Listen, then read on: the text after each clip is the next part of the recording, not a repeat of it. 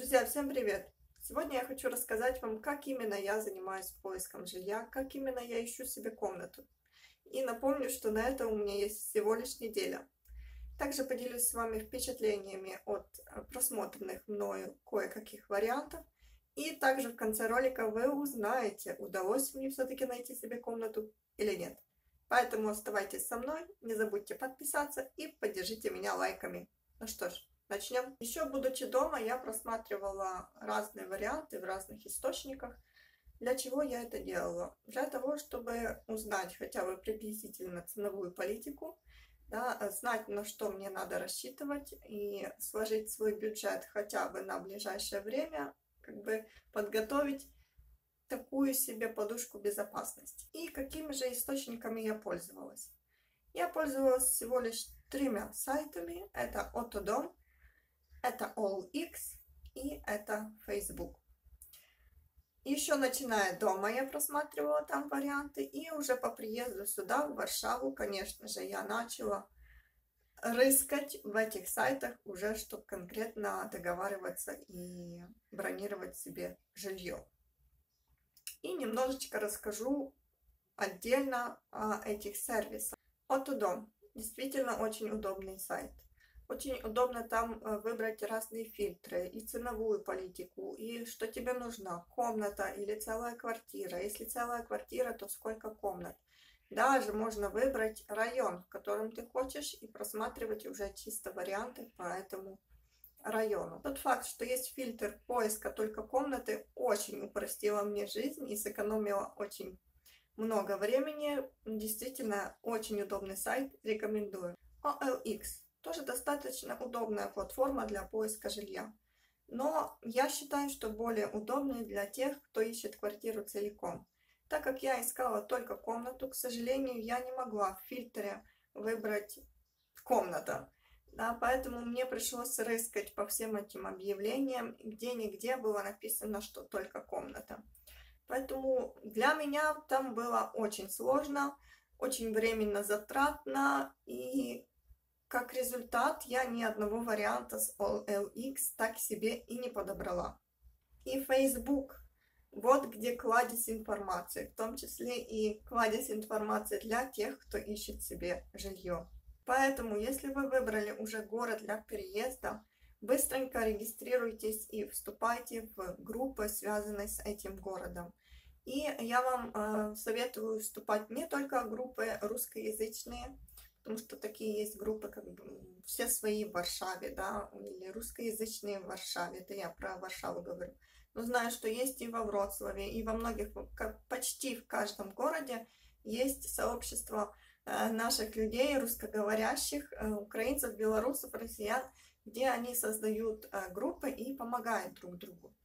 Но также вступайте и в группы чисто польские. Я как раз пользовалась такой группой польской, она называется «Варшава. Покой и мешкание вынайм». Действительно очень удобная группа. Можно там тоже в поиске вбивать, что ты ищешь, комнату, квартиру. Если квартиру, то сколько комнат. И что очень упростило жизнь, что там есть кнопочка э, сразу выслать э, сообщение арендодателю. И уже вы можете потом общаться напрямую с арендодателем через мессенджер. Что еще приятно удивило, так это то, что цены там порядком ниже, чем э, в том же Отодоме. Я не знаю, чем это связано. Наведу пример, что на Отодоме найти комнаты до 1000 злотых совсем действительно было очень сложно. Но в Фейсбуке таких вариантов очень много. И очень быстро идет коммуникация, не надо вызванивать, спрашивать, что да как. То есть нажал на кнопочку, спросив свободно, если занято, идешь дальше. Если еще а, комната свободна, уже договариваешься о встрече. Вот и все источники, которыми я пользовалась. Я считала, что мне этих трех источников хватит с головой. Вариантов будет много, но, к сожалению, вариантов было не так много, но все-таки что-то и удалось подобрать, чтобы пойти и посмотреть. А теперь делюсь с вами своими впечатлениями от просмотренных мною вариантов. Вперед! Ребят, я пришла осмотреть один из вариантов комнаты, квартиры Это тот вариант, который я нашла в первые два дня своего поиска. И эта квартира трехкомнатная, недалеко от центра. И все вместе выносит 900 злотых. Сейчас я буду ждать хозяина и уже расскажу вам, как там было и все детали. Ну что, ребятки, я вам скажу. Райончик очень красивый, ну как красивый, уютненько, тихо. Мне, в принципе, понравился райончик. Но квартира трехкомнатная, это хорошо. Но как только я зашла в квартиру, я поняла, что там живут еще двое мужчин. То есть вы не знаю, женщины меня, наверное, поймут, когда заходишь в чисто мужское общество, сразу чувствуешь, что там живут только мужчины. Ну, конечно же, на кухне бардак, в туалете бардак. Комната хорошая, комната большая, диван такой можно разложить на двухспальный, шкаф большой, стол. То есть комната, все, что надо, то есть. Но соседи я считаю, что соседи это очень важно. И я спросила у хозяйки, где живут девушки. Она говорит, не знаю. В основном.